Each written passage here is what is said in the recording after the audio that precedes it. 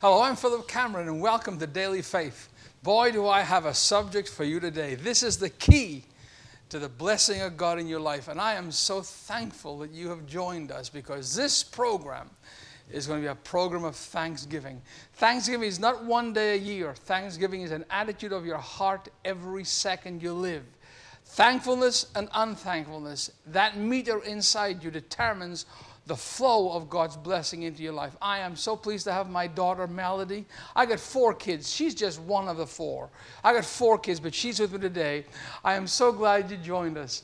Welcome to Daily Faith.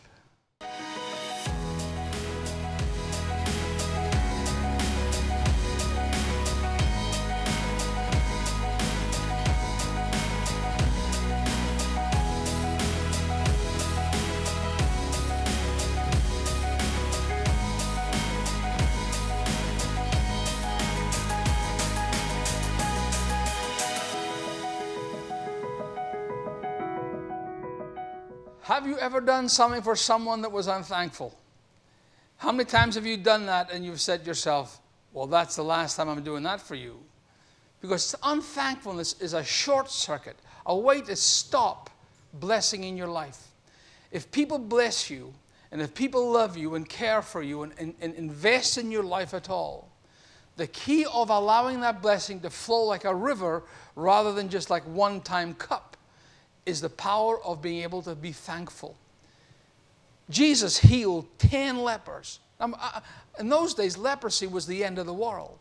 Leprosy made you completely be shunned by your whole town. You lived outside of the village. You, you cried unclean, unclean when en- anyone ever came near you. You lost contact with your wife and your kids, your husband. You are completely isolated from everybody. And Jesus came along one day and healed 10 of them. The reason why there was 10 because they're all together because that's, that's how they lived. They lived in these little cliques of, of, abandonment, just lost. And Jesus healed 10 lepers. And they went to the temple to be cleansed or to be given a, a, a proof of, of being able to go back to the community. And nine of them all legitimate. All of them had a good reason. They hadn't seen their kids for ages. They wanted to go back and see their kids.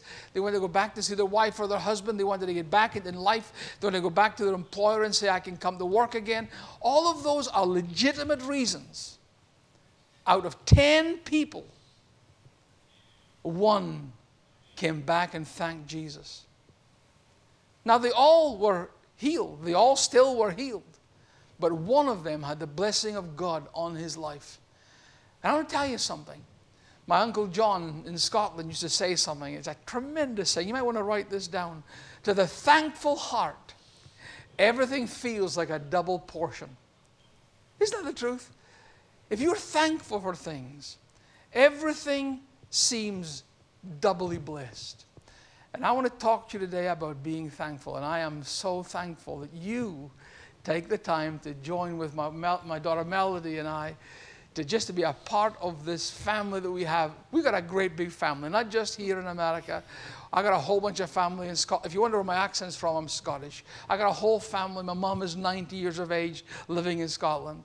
And then in Eastern Europe, in Moldova and the Ukraine, we have young people that our ministry rescues from the pit of hell, out of orphanages, out of a, just a life of abuse and freezing in the wintertime and being hungry all the time. They tell me, the kids tell me, all, I never went to bed not hungry. I was always hungry. I used to go to bed and the kitchens were closed and there was no food. And they would go to bed every night hungry.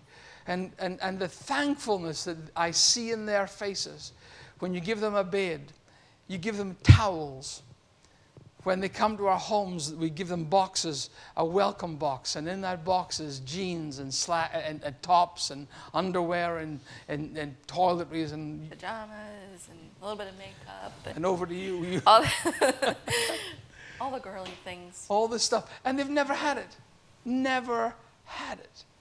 And uh, to be honest with you, for a while they kind of go overboard and they put on lipstick that you think, oh my, oh my goodness, and their nails are painted every different color every different day of the week. And they stand at the fridge, just they just stand at the fridge with the door open, and then they close the door.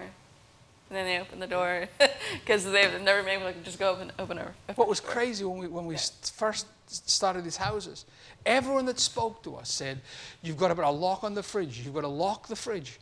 I says, Put a lock on the fridge? Oh, yes, they, these, these children will take every, all the food out of your fridge. I said, Well, not if they're sons and daughters. And when they come first, they come and they'll take, if there's a, a, a bowl of oranges, they'll take four or five oranges. And we'll tell them orphans take four or five or, or, oranges. Sons and daughters take one because they know they'll be there when they go back the next time. And to watch that and the thankfulness. And I want to ask you today are you thankful for the blessings of God in your life?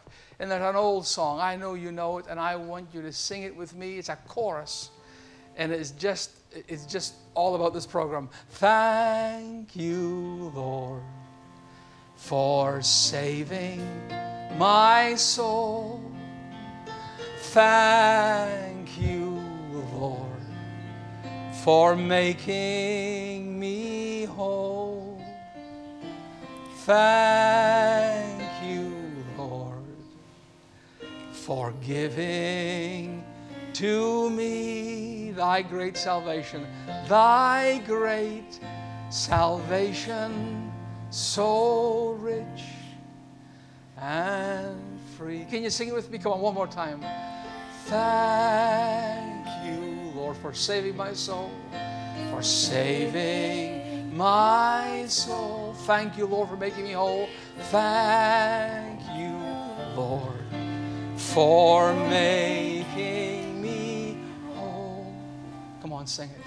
Thank you for giving to me, for giving to me thy great salvation, so rich and free.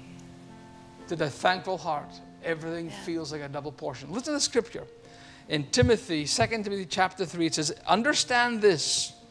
In the last days, perilous times will come, dangerous times will come. For people will be lovers of self. Can you, have you seen that? Are you watching that? Lovers of money, proud, arrogant, abusive, disobedient to their parents, unthankful, unholy. A sign of the last days we're living in is that we'll have unthankfulness. I don't know about you, but I, I worry. My grandkids, I got six grandkids, and uh, they are so blessed. They all have their, and she's got two of them right there, so I'm preaching to her as well as you at the moment. They all have their, their tablets and they all have little wee cars they drive around. I think I bought those, so I can't, that's my fault. Santa brought, bought Santa brought them, okay. Yes. What I'm saying is that we have given our kids so much stuff, Yeah. and yet they're never thankful. Every Christmas in Moldova, we give away Christmas of presents to hundreds and hundreds of kids in orphanages. And to watch a young little boy taste chocolate for the first time, and sit down beside them and have them break a bar of chocolate and give you half of the first chocolate they've ever tasted. I sometimes wonder, wow, maybe our kids in America are getting so spoiled in our whole life. We are blessed beyond measure. We go to families that have got no, no running water, no indoor toilet, widows that, that are literally the point of freezing to death all, all year, all winter time. And, and, and to watch them be thankful over a, a, a, a- bottle of oil for cooking and some rice and some just basic things. The Bible wants us to know this that the last days, a sign of the last days, will be thanks, uh, unthankfulness. My dad used to preach a message on unthankfulness when he was alive. It was one of the greatest messages I've ever heard. And it started, he and I were in St. John, New Brunswick in Canada, driving down the road behind a bus. And when the bus stopped and pulled over, we couldn't pass. It was a two lane road, so we stopped behind the bus. And, and as the bus pulled away, this gentleman with a white cane in front of him was walking quickly down the, the, the sidewalk. And he walked right in, I mean, just bang into a telephone pole and, and split his head open, blood was coming out of his, of his, of his wound. And my dad ran over and put a handkerchief in his hand. And the man was weeping and crying, and he's saying, I don't know where I am. The bus drivers let me off at the wrong stop. Hmm. And my dad looked into his sightless eyes, and he was back in the car, and we didn't move. He sat and wept, and he said, Son, when was the last time we thanked God for our eyesight and our hearing and our power of intellect? When was the last time we thanked God for our parents and our kids? Let me tell you something. If you want God's blessing in your life, if you want God to increase blessing, not in stuff necessarily, but in life, the quality of life, the joy of life, Thanksgiving is not a date on a calendar, it is an attitude of your heart. And I pray for you in the name of Jesus. Lord, make us more thankful. Let us help, help us to complain less and be thankful more. And by doing so, everything in our lives will seem like a double portion in the name of Jesus. I've got a real good book I want you to get. Watch this. Full House. It's time for Household Salvation. We'll help you see your unsaved loved ones in a totally different light. God has given Philip insight into God's promise of household salvation. Do you know that you have a covenant throughout Scripture that promises that your family are part of your eternal inheritance? Philip's family was bound in alcoholism for over 200 years. And through the miraculous story as told in Full House, Jesus saved the Camerons. And in the span of six weeks, 67 of the Cameron family were saved. This book will change your life. Order Full House today and believe with Philip to see what God will do in your family. To order, please visit www.philipdcameron.com or call 1 833 Daily Faith or contact us by mail. Post Office Box 242246, Montgomery, Alabama 36124. That book will change your life. Now, listen to me. I want you to listen. This is important. If you make it to heaven and your kids aren't there, it won't feel like heaven. If I, if I make it to heaven and any of my family aren't there, I don't care how well the angels sing and how sparkly the golden streets are. I'll be looking for all my family. They're part of my inheritance. The Bible said is for you and for your children and for your children's children. You have a promise from God. I call it the unclaimed promise. Acts 16:31 says, "Believe in the Lord Jesus Christ, and you shall be saved." And you would think that most people have cut cut the scripture off there, but that's not where it ends. Believe in the Lord Jesus Christ, you shall be saved, and your household, your family. You have a right to expect God to save your family. You have a right to say to the powers of darkness, Get out of my family. You have no rights in my home. And I want to believe God with you. You, you can sin. Let me, just while I'm thinking about it, people write me all the time and say, Philip, I would love you to pray and believe God with me for household salvation. I'd be honored to do so. We have a P.O. box. I'd like you to get write this down. It's P.O. Box 242 248. 242 248 Montgomery, Alabama 36124. And by doing so, if you just send me your the names of your kids or your whatever it is you want, I'll believe God with you. I'll hold them, I promise you.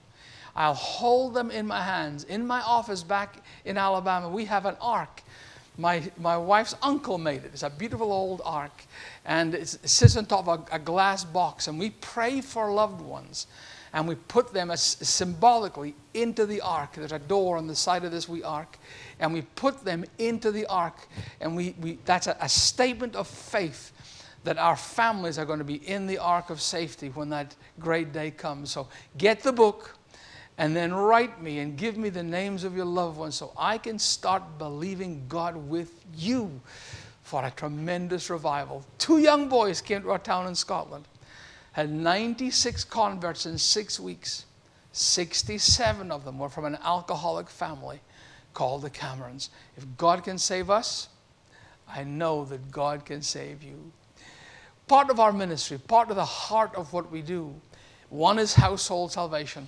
And two is going to those that no one cares about the fatherless, the orphan, those that have been abandoned by parents that have been caught up in alcohol. Terrible situation in the countries of Moldova and Eastern Europe. Moldova has the highest percentage of alcoholism in the world. More alcoholics per population in Moldova than anywhere else on earth. It is the unhappiest place on earth, voted the unhappiest place on earth. And right at the, the bottom of this horrendous mess, young boys and girls are abandoned by their parents. They go abroad for jobs or whatever. And, and they're just, the kids are forgotten. And they end up in an orphanage. And every day they're told, you are nothing. Your mom doesn't love you. Your father doesn't want you. No one cares about you.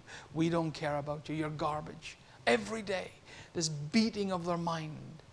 And we find them and we take them into homes that we have in Moldova. We have just opened up right now, uh, uh, purchased, it's not open yet, but we've, we've finished the purchase of an amazing place called Vatra Village.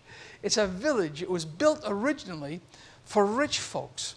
And it's about 100 yards from the largest lake in the whole country.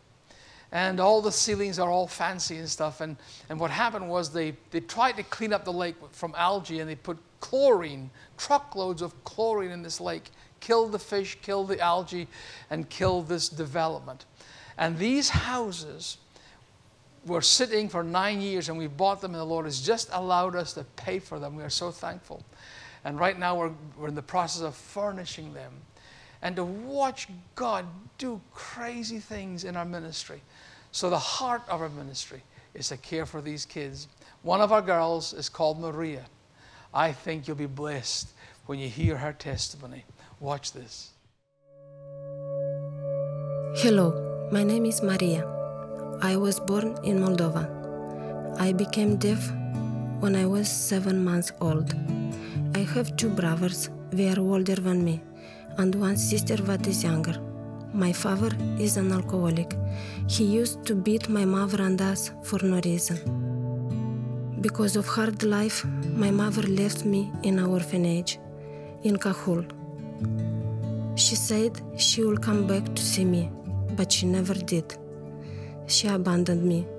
It wasn't easy to me to get used to the orphanage but after a while I started to like learning, playing with other children. One day, when we had a school holiday, my mother came to take me home for a few days. I never felt safe because of my father always was drunk. I was full of fear. Getting home, I stayed silently so my father couldn't see me. When I was invited at orphans' hands, I was full of joy. I knew there was family but no sign language and loves deaf people. Here I could finish my cooking and massage courses successfully. Our house is full of deaf girls. We speaking the same language, sign language, and we praise God through science. I am so thankful for God never left me. Thank you. I love you.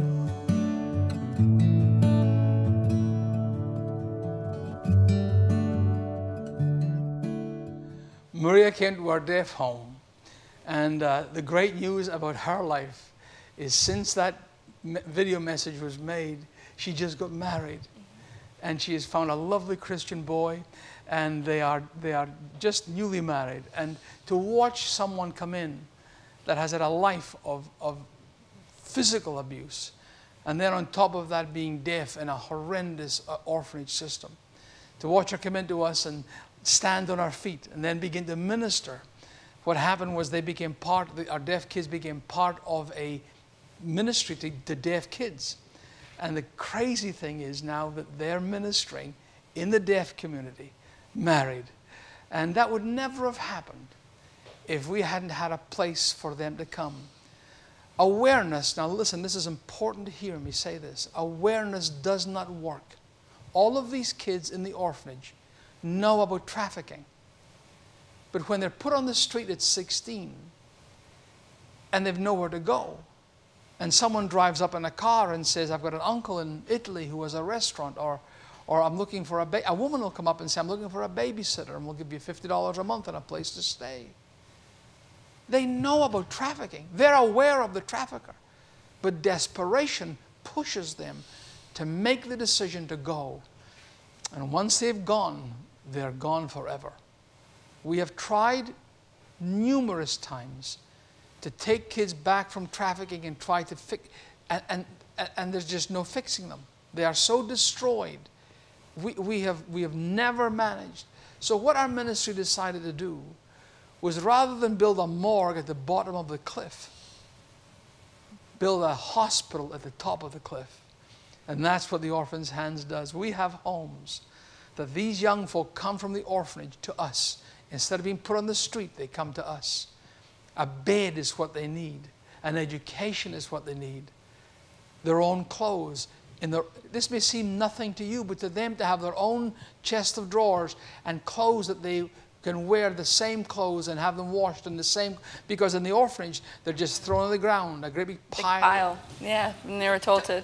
That's what they do after laundry day. They would just dump everything in the room, and they'd say, "All right, get your, you know, take what you can." And, my, and they fight for it. Mm-hmm. Yeah, they had to fight, and they, you know, be lucky if they'd ever get the same outfit more than once. So nothing. They never had anything of their own. And even when we would um, go in and visit them in orphanages and bring them gifts, as soon as we would walk out the door, the teachers would take the items that they got in their boxes. So I mean, really, never had anything. And that's and that's another point. What what we've discovered is we used to bring boxes, and and it was it it, it ended up after the joy of getting a box. We, they told us as they come to the, uh, the, the houses that after we left, the bullies and the teachers took all their stuff away and they just a second or two glimpse of, of a, a toy and, and stuff in, before it was taken away. And nowadays, because our kids are on the ground and our kids are former orphans themselves, when we give a gift, they know they go to the people and say, listen, this has got to stay where this, we're coming back tomorrow and better still be here. So it's changed so much. But Maria is, is just like so many of the kids that come to us with no hope, no future, no destiny. And along with the gospel, which is just permeable all through the home, that's the gospel is the baseline of everything. Bible studies and prayer meetings, that just takes place all the time. The kids that are Christian, the older kids, literally just take the new ones under the wings and, and show them the gospel. But what happens is they come to us as orphans. And as soon as we can, we get them out giving things away because an orphan is never given anything, they only get and we give them, and we, we, we will take, we'll adopt a village and go to the, all the widows of the, of, the, orph, of the, the village and give them food and clothes and coal in the wintertime. And these orphans that have always been receiving start giving. And the giving is what changes their minds. It changes how they see things. They get more excited about giving stuff away than anybody else because they know how it is to receive. And by doing so, it's the most amazing transformation that we turn them from orphans into sons and daughters, that they get excited. I get phone calls almost every day saying, Dad, we we can, can, we do this? Can we reach this? Can we go there? Can we fix this? It's a never ending um, attack on, on poverty and, and, and helping those in need. And then, of course, the most wonderful thing is that they share the gospel. We need your help. We've just opened Vatra Village or bought Vatra Village. We're hoping to open it according to uh, the response that you give us. Every house, we have six houses in this village, will need 120 people giving a dollar a day to support it. You can give a life, a life, an eternal life to a, a, a young girl like Maria for a dollar a day. Every 120 people that watch this program and say, I want to send and I'll be a part of this thing. Your dollar a day allows us to open the doors, take more kids in. Maria came through our ministry for one reason and one reason only. Someone else was giving a dollar a day. Vatra Village will now take 90 more kids, and we need your help. Will you pray? Will you ask God right now, Father, if this is your will for me to be a part of this miracle, I ask you, Lord Jesus, Speak to my heart to respond. The number on your screen is your contact to us. 1 888 Daily Faith. And you can give right there and say, listen, this is for Vatra Village. And I'll be waiting for your call. And you're giving. And talk about thankfulness, Dad. In, in God's hand is everything that we eh, all need. And we get to be a part of being His hands. We're, I'm thankful to be a part. I'm thankful to be used by Him. I'm thankful that He allows me. Who am I? But He allows us. Instead, He could do it by Himself, but He includes us in, in that. I'm thankful for that. I love you. I love my daughter's heart for the gospel. I love it. We need your help. A dollar a day will allow us to open one of the houses, 120 people, an upper room experience. We need your help. Bye bye for today. For over 25 years, the Cameron family has been changing the lives of orphans in Romania and Moldova. From providing running water, flushing toilets, and clean wells, to coal for heat, new windows, as well as food and clothing. They champion the physical needs of the orphans in these broken and desolate countries. Many of Moldova's orphans are saved from the horrors of trafficking through homes founded by the Camerons, and in the process, orphans become daughters and sons. They come to know their Heavenly Father and are forever changed by the love of Jesus. God help the Camerons lift these amazing young men and women out of darkness. Now, no longer orphans, they want to return and invade that very same darkness with the light of Jesus Christ. The Orphan's Hands equips these daughters and sons to become missionaries. Your monthly gift of $31 will allow us to rescue and take in more girls and boys, saving them from the hell of human trafficking. Your monthly partnership will allow us to care for those in the Orphan's Hands homes in Moldova and the Ukraine. When you partner with us on a monthly basis, giving a dollar a day, you will receive every 30 seconds a testimonial book of the lives changed by the Orphan's Hands. If you want to join Philip and Chrissy in taking care of these precious young people, please contact us today by calling 833 Daily Faith. You can also give by going online to philipdcameron.com or by writing to Post Office Box 242246, Montgomery, Alabama 36124. So many lives depend on what we do. Thank you for loving the lost. Philip would love to hear from you. If there is a need for prayer in your life and you want him to pray for your unsaved loved ones, reach out to Philip at 833 Daily Faith. We believe for great things for you. Contact him today. If you are a pastor, church leader, or business owner and would like to have Philip Cameron come and speak to your church, conference, or event, please call 1 833 Daily Faith or go to pastors.philipdcameron.com or request by mail at attention Andrew Cameron, Post Office Box 242246, Montgomery, Alabama 36124.